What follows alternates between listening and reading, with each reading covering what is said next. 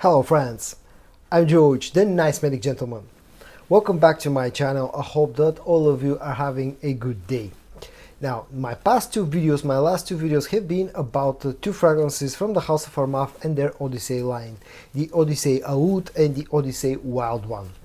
So uh, that means that I've done reviews now on all 8 members, individual reviews of all 8 members of the Odyssey line of fragrances from Armaf. So in this video today I'm going to show you all 8 current members of the Odyssey line and I'm going to rank them from my least favorite to my most favorite.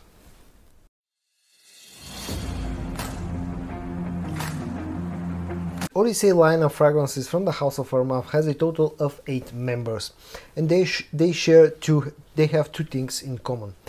First of all, they have the same goofy bottle design as you can see, but uh, I'll talk about that in a, a, little bit later. And also all eight of those fragrances are actually clone fragrances that are cloning famous designer and niche scents. Okay, let's start now with the actual fragrances. And as I said in the beginning, I'm going to rank them from my least favorite to my most favorite.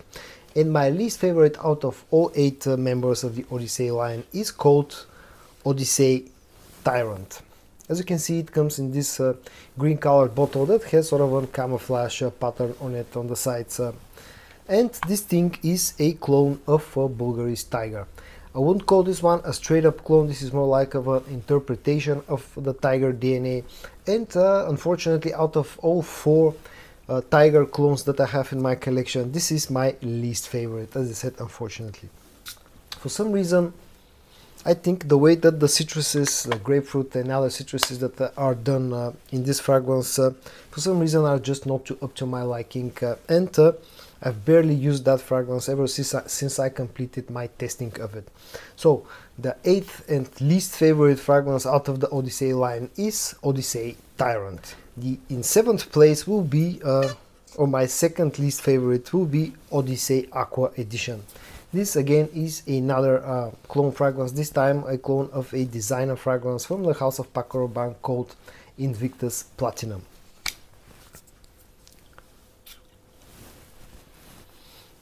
Um, again, I'm not the hugest fan, the biggest fan of the original Invictus Platinum, although it's a quite a versatile fragrance and this thing will get you pretty close to the original scent-wise, but uh, Maybe because I'm not the biggest fan of the original, uh, I'm also not the biggest fan of uh, Odyssey Aqua as well.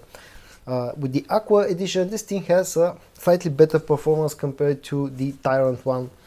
Uh, slightly more above average, let's call it uh, close to uh, a good performer. And all in all, as I said, not the biggest fan of this fragrance, neither the original nor the Armaf interpretation. So that's that's why Armaf Aqua is in seventh position. Number six is going to be Odyssey Oud. Now, one thing uh, uh, about this fragrance is the fact that uh, I like the bottle design here. I mean, the, the, the pattern on the the actual coloring scheme on the on this fragrance. I'm not the biggest fan of the of the whole bottle design of all of the uh, you know uh, Odyssey uh, fragrances, but at least here I think uh, the bottle looks like looks nice in this sort of a dark uh, golden color. This fragrance is a clone of uh, Oud for Greatness, and I just recently did a full review of this fragrance. So if you're interested to learn more about it about this fragrance, just watch my you know full review of this one. This to my nose is a slightly fresher, uh, slightly less spicy, a little bit more wearable version of uh, Oud for Greatness and it's also slightly sweeter. Performance here is decent, above average. The fifth place is going to be Odyssey Mega. This thing is a clone of uh, YSL EDP. Uh, scent wise this is a very very decent clone, one of the better clones that I've tried of uh, Y EDP.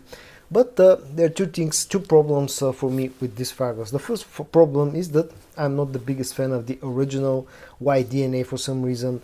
And, uh, you know, I don't like to wear that one too much. And uh, that's the reason why this has not seen uh, much of an usage from me ever since I got it almost a year ago. And the second reason why I'm not the biggest fan of uh, the Mega is the fact that this is a bad performer. This is probably the worst performing fragrance out of 08. Performance here barely touches the average uh, norm for me at least. I get about 5 to 6 hours of performance out of this fragrance, but uh, you know, as I said, scent-wise, this is quite close to the original. It's a very versatile fragrance that unfortunately has bad performance. At number 4 is going to be Odyssey Mandarin Sky. This is a clone of uh, Jean-Paul Gaultier's Scandal Pour Homme EDT. Very similar to the original scent, quite a good clone. Uh, feels like a slightly fresher version of the original. You got that Mandarin uh, sort of uh, freshness in the opening of this fragrance with of course lots of uh, caramel sweetness on the dry down like with the original.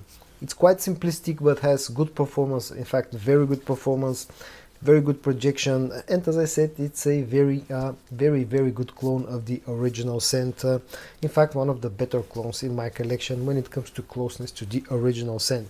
So if you like uh, EDT uh, and you're looking for a clone and you don't know about the existence of uh, Odyssey Mandarin Sky, definitely check this one out. At number 3 is going to be one of the two original members of the Odyssey line, one of the two fragrances that first came out and it's called Odyssey Homme White Edition.